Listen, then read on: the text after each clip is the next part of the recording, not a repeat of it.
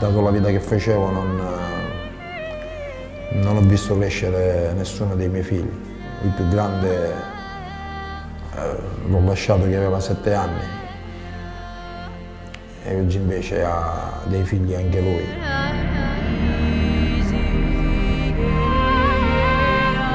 Il problema secondo me è fare in modo che le persone riescano a convincere che al di là dello sbarramento automatico c'è una persona.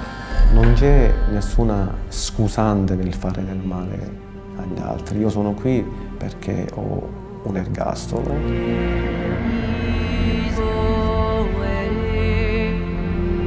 Io per 22 anni ho vissuto in isolamento.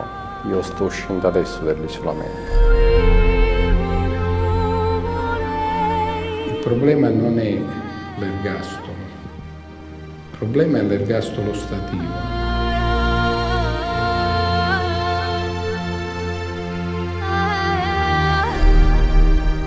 Molto spesso noi scambiamo qualche cosa, c'è la speranza per illusioni o viceversa. Quando ti trovi in questi posti cioè, devi sempre sperare. Occorre capire perché poi si arriva a commettere determinate azioni. Qual è stato quel prima e cosa diventa quel dopo. Di poter portare la mia testimonianza, seppur negativa, nelle scuole e laddove c'è la possibilità che mi danno, la possibilità di poterlo fare in tutti i posti possibili, affinché possa salvare anche un ragazzino solo dalla devianza.